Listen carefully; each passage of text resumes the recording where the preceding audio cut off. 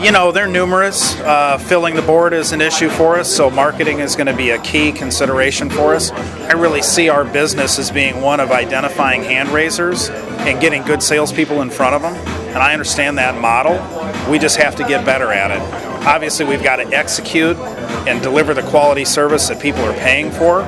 We want to do that, but we're not doing it as well as we need to. So we've got to work on our execution and our quality and getting people you know on board with you're out there not only are you representing Joe Cool air conditioning you're representing yourself. This is what this is our craft. It's what you do for a living and it needs to be the best work that people can buy.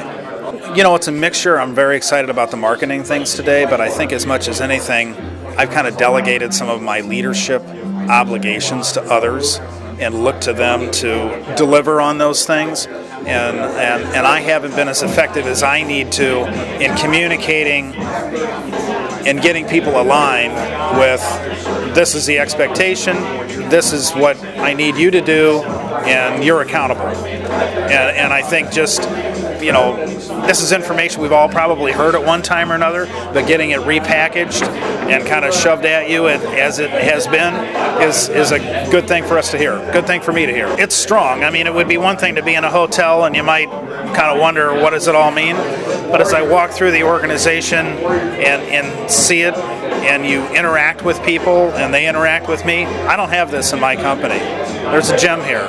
I want it in my company, and I recognize more today than I did when I got here whose responsibility it is to get that going.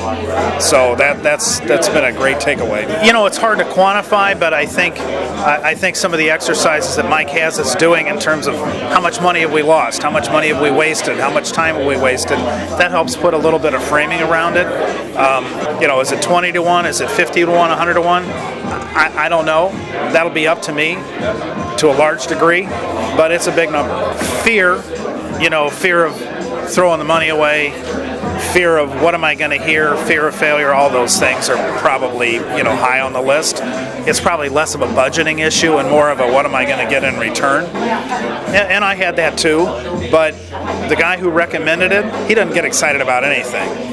And I've known him a couple of years. I've never seen him get excited. He got excited about this, and that was really the breakthrough for me.